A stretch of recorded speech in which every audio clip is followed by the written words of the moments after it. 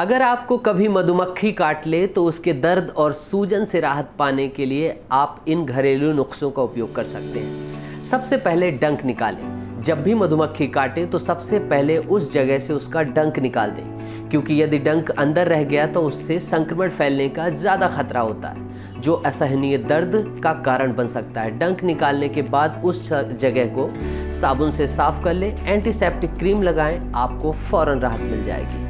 इसके बाद आप कर सकते हैं बर्फ़ का इस्तेमाल। मधुमक्खी के काटने के तुरंत बाद प्रभावित जगह पर बर्फ़ मलें।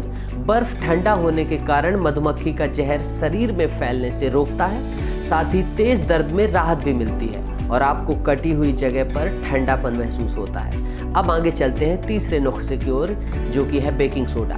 बेकिंग सोडा में ऐसे गुण पाए जाते हैं जो कि मधुमक्खी के काटने के जहर को रोकते हैं, साथ ही आपको फ़ौरन राहत देते हैं। मधुमक्खी जहाँ पर काटे, वहाँ पे बेकिंग सोडा लगाएँ, इससे आपका जहर फैलना तुरंत रुक जाएगा। अगला नुस्खा है विनेगर। विनेगर को भी लगा सकते हैं। सिरका जिसका उपयोग आप अचार में करते हैं, वो भी बहुत काम का हो सकता है। जिस जगह पर मधुमक्खी काटे, उस जगह पर तुरंत विनेगर लगाएँ। विनेगर जहर फैलने से रोकता है। जहर के असर को कम करता है, साथ ही दर्द, खुजली और सूजन में भी राहत पहुंचाता है।